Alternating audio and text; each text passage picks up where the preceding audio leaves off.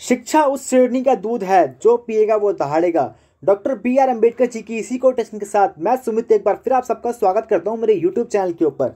तो आज मैं आपके सामने पी एच डी का, ये रिसर्च एलिजिबिलिटी टेस्ट है दो हज़ार तेईस का, ये पॉलिटिकल साइंस का एलिजिबिलिटी टेस्ट है ये। तो ये मेरे को इंटरनेट के ऊपर मिला है। तो इसको आज हम डिस्कस करेंगे। मुझे पता नहीं है किस यूनिवर्सिटी का, लेकिन अच्छा पेपर है। इसके अंदर काफ़ी ज़्यादा रिपीटेड क्वेश्चन पूछे गए हैं और जो कि हमारे एग्ज़ाम के लिए बहुत ज़्यादा उपयोगी हो सकते हैं। यूजीसी नेट के लिए एमएन ट्रांस के लिए या फिर पीजीटी के लिए भी बहुत ज़्यादा इंपॉर्टेंट हो सकते हैं। तो इसको आज हम देखेंगे कि कैसा पेपर था। तो आइए स्टार्ट करते हैं इसको। इसके अंदर पहले ही क्वेश्चन है, पहले काफ़ी रिपीटेड क्वेश्चन है, आप देख सकते हैं।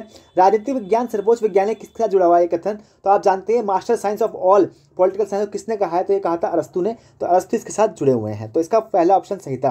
प्लेटो का आप जानते हैं, प्लेटो ने न्याय का कॉन्सेप्ट दिया है, जिसके अंदर उन्होंने बताया था कि अपने तीनों वर्ग अपने कार्यों का निर्वहन करें, वही न्याय है। आइडिया ऑफ़ थ्योरी गुफा का सिद्धांत के साथ जुड़ा हुआ है साम्यवाद का सिद्धांत के साथ जुड़ा हुआ है। और मार्क्स आप जानते हैं, काफ़ी ज़्यादा फ़ेमस थिंकर हैं। तो इस प्रकार से जो इसका सही आंसर है, राजनीतिक विज्ञान, सर्वोच्च विज्ञान है, इसके साथ जुड़े हुए हैं अरस्तु। ह्यूमन नेचर इन पॉलिटिक्स किसने लिखी है? ये भी बहुत इंपॉर्टेंट पुस्तक है, काफ़ी एग्ज़ाम में आती है तो ग्राम विलास ने लिखी है ह्यूमन नेचर इन पॉलिटिक्स तो इसका सी ऑप्शन सही था। किसने कहा है कि व्यक्ति का जीवन एकाकी शुद्ध घिनौना, पशुवत और अल्प है? ये बहुत फ़ेमस कोटेशन है। The life of man is solitary poor nasty brutish and short तो ये किसने कहा है? ये बहुत फ़ेमस कोटेशन है और ये कही है हॉब्स ने। तो इसका सेकेंड ऑप्शन सही था। ये भी एक कथन बेस्ड क्वेश्चन है। ये भी काफ़ी रिपीटेड क्वेश्चन है। अंग्रेज़ सोचते हैं कि वह स्वतंत्र हैं, जबकि वह केवल संसद के सदस्यों के चुनाव के समय स्वतंत्र होते हैं। ये कथन किसका है? ये रूसो ने ये बात कही है। तो इसका फोर्थ ऑप्शन सही है। ए ग्रामर ऑफ़ पॉलिटिक्स पुस्तक के लेखक कौन है? ए ग्रामर ऑफ़ पॉलिटिक्स हम जानते ही हैं, हेरोल्ड जे लास्की ने। हेरोल्ड जे लास्की ने ए ग्रामर ऑफ़ पॉलिटिक्स पुस्तक लिखी है। गांधी जी हिंद स्वराज के साथ जुड़े हुए हैं। माई एक्सपीरियंस विद ट्रूथ इनकी पुस्तक है। अरविंदो सावित्री लिजेंड इनकी पुस्तक है। तो और डेविड डायबिटेशन एक सिस्टम थ्योरी इन्होंने लिखा है। तो इस प्रकार से जो एक ग्रामर ऑफ़ पॉलिटिक्स की पुस्तक के लेखक हेरोल्ड जे लास्की, इसका सही ऑप्शन, सही आंसर था। किसने कहा है कि कूट, जब कूटनीति का अंत होता है तो युद्ध आरंभ होता है? ये भी बहुत फ़ेमस कोटेशन है। ये एरोल्ड हिटलर ने कहा है कि जब कूटनीति का अंत होता है तो युद्ध होते हैं। तो इसका फ़र्स्ट ऑप्शन सही था। सातवां क्वेश्चन है, प्रधानमंत्री सहित कुल मंत्रियों की संख्या अधिक नहीं होनी चाहिए। अधिक नहीं होती है। तो यह ये था, लोकसभा के अंदर पंद्रह प्रतिशत से अधिक नहीं होनी चाहिए मंत्रियों की सदस्य की संख्या। और ये जब आया था, ये नाइन्टी फ़र्स्ट अमेंडमेंट के तहत आया था और ये 2003 के अंदर ये बात कही गई थी और ये इस नाइन्टी वन कॉन्स्टिट्यूशन अमेंडमेंट के तहत ये कहा गया था कि प्रधानमंत्री सहित कुल मंत्रियों की संख्या पंद्रह प्रतिशत से अधिक नहीं होनी चाहिए लोकसभा के अंदर। तो इसका सेवन्थ ऑप्शन सही था। सेवन्थ का डी ऑप्शन सही था। किस केस में यह निर्णय किया कि प्रस्तावना संविधान का भाग नहीं है? तो आप जानते हैं ये बेरूबारी केस हुआ था 1960 के अंदर। इसके अंदर ये कहा गया था कि जो प्रस्तावना है वो संविधान का भाग नहीं है, लेकिन उन्नीस सौ तिहत्तर के अंदर केसवानंद भारती मामला आया था। इसके अंदर सर्वोच्च न्यायालय ने कहा दिया था कि जो प्रस्तावना है वो संविधान का भाग है। और एक आधारभूत ढांचे का सिद्धांत भी इसी केस के अंदर आया था। ये उन्नीस सौ तिहत्तर के अंदर हुआ था, कई बार आ जाता है मैचिंग के अंदर तो इसको आप याद रखें। और विशाखा केस विशाखा केस भी ये बहुत इंपॉर्टेंट है, उन्नीस सौ छियानवे के अंदर ये हुआ है। और इसके अंदर जो कार्यस्थल के ऊपर जो महिलाओं के साथ उत्पीड़न होता है, उसके निवारण के लिए एक जो मैकेनिज्म बनाया गया है, वो इसी केस के साथ जुड़ा हुआ है। मदन मोहन पंक्षी आयोग नियुक्त हुआ था। तो आप जानते हैं ये एम एन पंक्षी आयोग जो हुआ था, ये सेंट्रल स्टेट रिलेशनशिप केंद्र राज्य संबंध के अध्ययन के लिए ये हुआ था। तो इसका फ़र्स्ट ऑप्शन सही था। इनमें से किस विचारक के लेखन में प्रथम बार द्वंदात्मक पद्धति का प्रयोग हुआ? तो आप जानते हैं द्वंदात्मक पद्धति जो सबसे पहले सबसे पहले जिन्होंने द्वंदात्मक पद्धति का विकास किया था वो सुकरात थे। लेकिन उन्होंने कहीं पर लिखा नहीं था। तो लिखित तौर पे अगर हम देखा जाए लेखन के तौर पे तो इसका सही आंसर है प्लेटो। प्लेटो ने इसको सबसे पहले आरंभ किया था। ग्यारहवा क्वेश्चन है, संविधान के प्रारूप समिति का गठन कब हुआ? ये बहुत इंपॉर्टेंट क्वेश्चन है। कई एग्ज़ाम में मैचिंग के तौर पर आता है, प्रारूप समिति का गठन कब हुआ था, बताएँ। तो इसके अध्यक्ष थे doctor B R Ambedkar ji और ये उनतीस अगस्त उन्नीस को इसका गठन हुआ था। निम्नलिखित में से कौन सकारात्मक स्वतंत्रता का समर्थक है? Who among the following is supporter of positive liberty तो पॉजिटिव लिबर्टी का जो कॉन्सेप्ट जुड़ा हुआ है, वो टी एच ग्रीन के साथ जुड़ा हुआ है। T H Green political liberty के साथ जुड़े हुए हैं। और आर नॉजिक, आप जानते हैं, आर नॉजिक ने लिखी है पुस्तक अनार्की स्टेट एंड यूटोपिया, इनकी एक पुस्तक है, आप जानते ही हैं, और इन्होंने जॉन रॉल से काफ़ी क्रिटिक किया है। बैंथम, आप जानते हैं, बैंथम यूटिलिटेरियन के साथ जुड़े हैं, और जॉन रॉल्स जो है, वो सामाजिक सिद्धांत, समझौते के साथ जुड़े हुए हैं। राज्य का विज्ञान आरंभ एवं अंत राज्य से होता है। ये भी कोटेशन बेस्ड क्वेश्चन है। बहुत इंपॉर्टेंट कोटेशन हमारे पॉलिटिकल साइंस के अंदर। कई एग्ज़ाम में पूछा जाता है इनका। तो गार्डनर ने बात कही है राजनीति विज्ञान का आरंभ एवं अंत राज्य से होता है। तो इसका बी ऑप्शन सही था। रजनी कोठारी, आप जानते हैं कास्ट इंडिया ने लिखा है और भारत की राजनीति के ऊपर उन्होंने बहुत काम किया है। कांग्रेस सिस्टम भी रजनी कोठारी ने दिया था। तो इसको भी देख सकते हैं आप। मनुष्य स्वतंत्र पैदा हुआ है, परंतु वह सर्वता जंजीरों में जकड़ा हुआ है। तो ये कोटेशन दिया है रूसो ने। रूसो ने ये बात कही है मनुष्य स्वतंत्र पैदा होता है, लेकिन वह परंतु वह सर्वता जंजीरों से जकड़ा हुआ है। रूसो का ये कोटेशन है तो सी ऑप्शन इसका सी इसका सही था। तो आप देख सकते हैं, इसके अंदर एग्ज़ाम के अंदर काफ़ी सारे कोटेशन बेस्ड क्वेश्चन पूछे गए हैं, और ये हमारे लिए बहुत इंपॉर्टेंट हो सकता है आने वाले एग्जामों के लिए, क्योंकि कोटेशन बेस्ड एग्ज़ाम में क्वेश्चन बहुत आते हैं पॉलिटिकल साइंस के। निम्नलिखित में से कौन सा सिद्धांत मार्क्स से संबंधित नहीं है? तो आप जानते हैं मार्क्स ने बहुत सारे सिद्धांत दिए हैं तो इसमें से कौन सा सिद्धांत संबंधित नहीं है? तो देख लेते हैं एक बार। अलगाव का सिद्धांत तो उन्होंने दिया है। अलगाव का सिद्धांत उन्होंने दिया है। अतिरिक्त मूल्य का सिद्धांत भी दिया है। डिक्टोरशिप ऑफ़ डिक्टोरशिप ऑफ़ पॉलिट्रेट, यानी सरवाहा वर्ग की तानाशाही भी उन्होंने कही है। लेकिन जो परिवार, निजी संपत्ति और राज्य का उद्भव तो इस संदर्भ में उन्होंने कोई सिद्धांत नहीं दिया है। तो इसका डी ऑप्शन सही है। तो इसका डी ऑप्शन सही था। निम्नलिखित में से किसने दी आर्ट ऑफ़ वॉर लिखी है? तो दी आर्ट ऑफ़ वॉर जो लिखी है वो मेकाबली ने लिखी है। Machiavelli Machiavelli the art of war के साथ जुड़े हुए हैं और इन्होंने मेकाबली ने जनरल विल और जनरल विल का सिद्धांत दिया इसके अंदर रियल विल और उन्होंने इन सबकी बात करी है। तो द आर्ट ऑफ़ वॉर के साथ जुड़े हुए हैं मेकाबली सत्तरवा सत्तरवा को सत्तरवा क्वेश्चन है। सेवनटीन क्वेश्चन है। निम्नलिखित में से कौन सा सतत विकास का अभिलक्षण नहीं है? तो सतत विकास का जो अभिलक्षण नहीं है, वो अनियंत्रित विकास, यानी अन रेस्टोरेंट डेवलपमेंट ये सतत विकास का लक्षण नहीं है तो ये भी आप देख लें। तो पीढ़ीगत समानता के सिद्धांत पर आधारित होता है, ये सतत विकास जो होता है, और पर्यावरण हर्ष के बिना विकास करना, यानी विदाउट पर्यावरण को नुकसान पहुँचाए बिना डेवलपमेंट करना, ये सतत विकास के अंदर आता है। भविष्य की आवश्यकताओं से समझौता किए बिना वर्तमान आवश्यकताओं को संतुष्ट करना तो ये भी है, लेकिन अनियंत्रण विकास तो इससे ये नहीं जुड़ा हुआ है, इसके अंदर पूछा कौन सा नहीं जुड़ा हुआ है तो अनियंत्रण विकास इसके साथ नहीं है। भारत और चाइना के बीच, भारत और चाइना के मध्य की सीमा रेखा का नाम क्या है? बहुत इंपॉर्टेंट क्वेश्चन है। मैकमोहन रेखा है भारत और चाइना के बीच। रेड क्लिफ जो रेखा है, वो भारत और पाकिस्तान के बीच है। डूरेंट रेखा जो है, वो पाकिस्तान और अफ़गानिस्तान के साथ है और पाक स्टेट भारत और श्रीलंका के साथ है। तो इस प्रकार से आप देख सकते हैं इन सभी का। तो जो इसका सही आंसर है भारत और चाइना के बीच, मैकमोहन रेखा, एक बार फिर बताता हूँ, रेड क्लिप भारत और पाकिस्तान के साथ। दुरंट रेखा जो भारत और अफ़गानिस्तान के साथ है, और डी जो पाक स्टेट है, वो चाइना भारत और श्रीलंका के साथ है। जॉन रॉल्स के न्याय सिद्धांत में न्याय निष्पक्षता का विचार प्रवाह है। तो ये इंडिविजुअल के साथ जुड़ा हुआ है। जो ये यूजीसी नेट के अंदर भी आया था, ये क्वेश्चन काफ़ी रिपीटेड क्वेश्चन है ये भी। तो जो रॉयल्स का जो न्याय का केंद्रीय बिंदु है वह इंडिविजुअल यानी व्यक्तिवाद, व्यक्ति से जुड़ा हुआ है ये। तो इसका फ़र्स्ट ऑप्शन सही था। भारत का सर्वोच्च न्यायालय किसके द्वारा संघ और राज्यों के मध्य विवादों का अधिनिर्मित निर्मित अधिनिर्णित करता है? तो ये करता है जो यूनियन और सेंट्रल, जो यूनियन और स्टेट के बीच जो डिस्प्यूट होते हैं, उसका जो सोल्यूशन जो आता है सबसे पहले ओरिजिनल जुडिक्शन यानी परम्भाविक क्षेत्राधिकार के अंदर आता है तो इसका बी ऑप्शन सही था। निम्न में से कौन से आयोग संवैधानिक निकाय हैं? तो इसमें से बताना हमें कौन से कमीशन स्टैचुरी बॉडी हैं। तो स्टैचुरी बॉडी जो है, हम देख लेते हैं इसको। तो राष्ट्रीय अनुसूची अनुसूचित जाति आयोग ये है, निर्वाचन आयोग भी है और राष्ट्रीय अनुसूचित जनजाति आयोग ये भी है, लेकिन जो राष्ट्रीय अल्पसंख्यक आयोग है, ये एक स्टैचुरी बॉडी नहीं है तो इसका सेकंड इसका सेकंड ऑप्शन सही था। कैबिनेट मिशन योजना के सदस्य थे तो ये इसी मिशन की योजना के तहत हमारे संविधान सभा का निर्माण हुआ था। तो इसके सदस्य कौन कौन से थे, वो हमें बताना था। तो lord Pethick, lord Pethick Lawrence इसके सदस्य थे, सर स्टॉफर क्रिस थे और एवी अलेक्जेंडर ये सभी कैबिनेट मिशन योजना के सदस्य थे और ये 1946 के अंदर भारत के अंदर आया था, जिसने अपनी अनुशंसा दी थी। इसी के आधार में भारत का संविधान सभा का गठन हुआ था। तेईसवा क्वेश्चन है कार्ल मार्क्स मार्क्सवाद के संस्थापक निम्न में से किस देश के औपचारिक नागरिक थे? ये काफ़ी ज़्यादा डाउटफुल वाला क्वेश्चन है, क्योंकि यूजीसी नेट में एक बार क्वेश्चन आया था ये तो इसको रिजेक्ट कर दिया था यूजीसी नेट ने।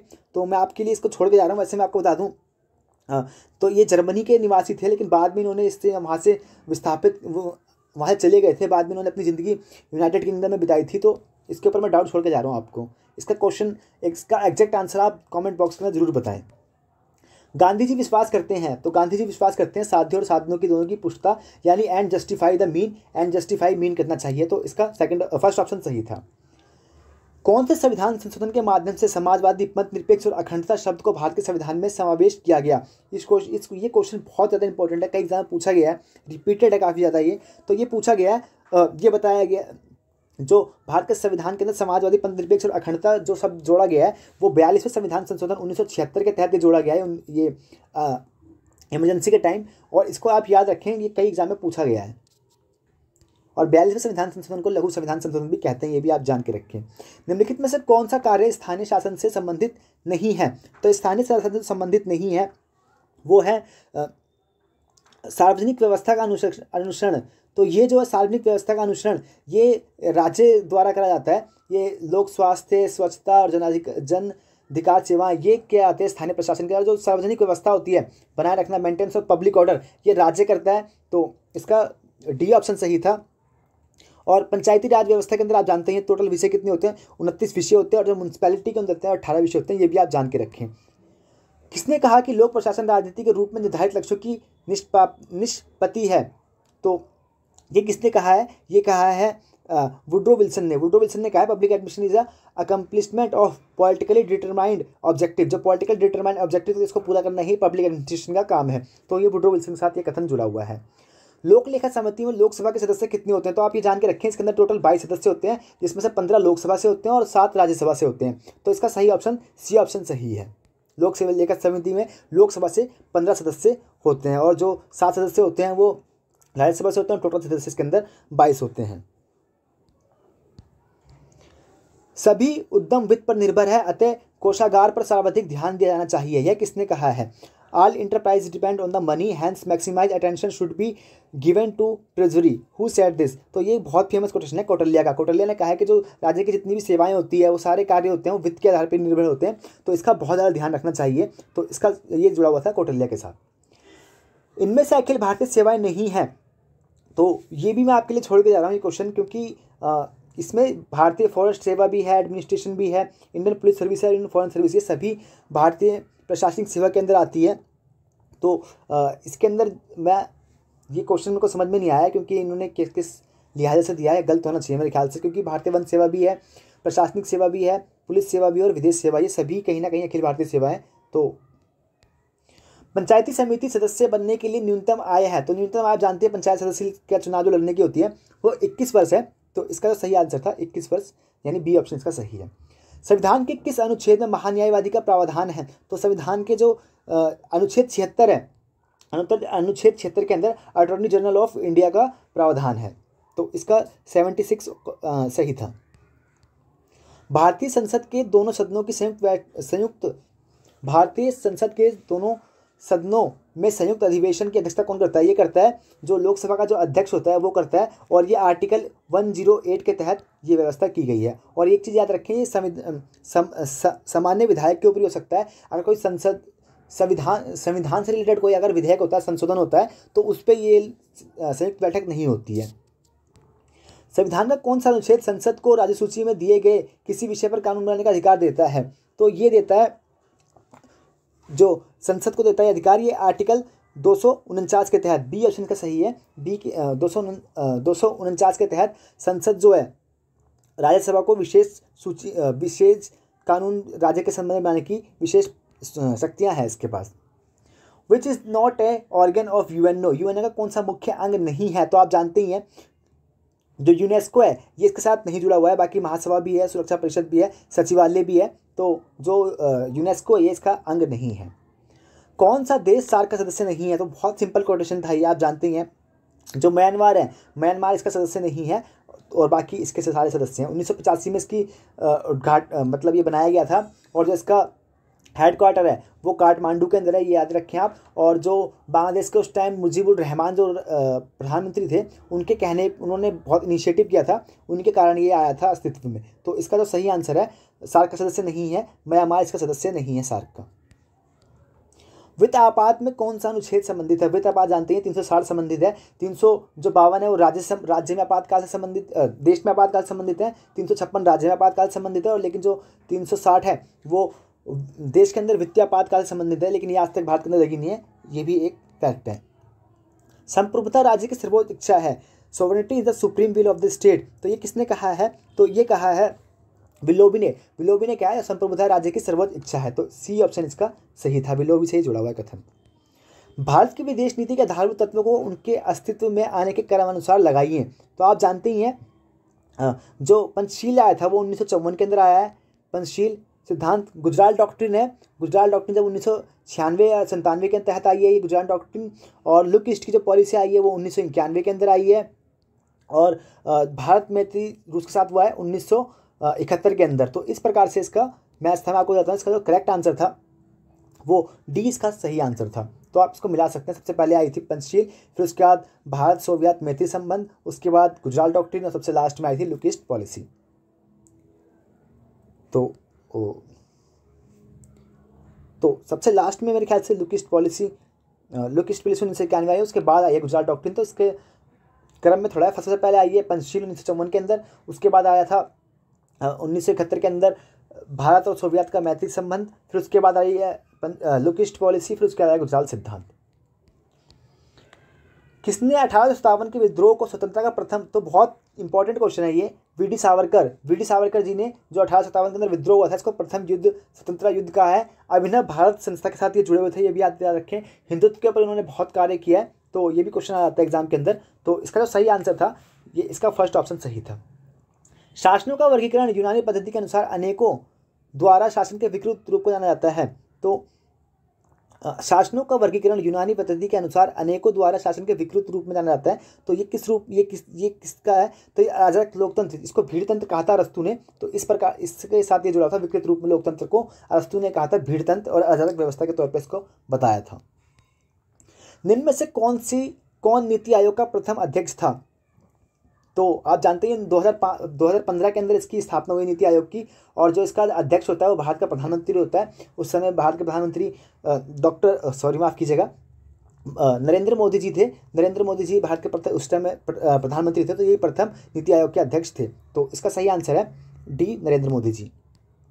बहुल कार्यपालिका का उदाहरण है तो आप जानते हैं बहुल कार्यपालिका का उदाहरण है स्विट्जरलैंड, जिसके अंदर सात सदस्य होते हैं तो इसका सी ऑप्शन सही है। निम्न में से कौन सा प्रतिनिधित्व का सिद्धांत अथवा मॉडल नहीं है? तो इसमें से कौन सा प्रतिनिधित्व का सिद्धांत का मॉडल नहीं है?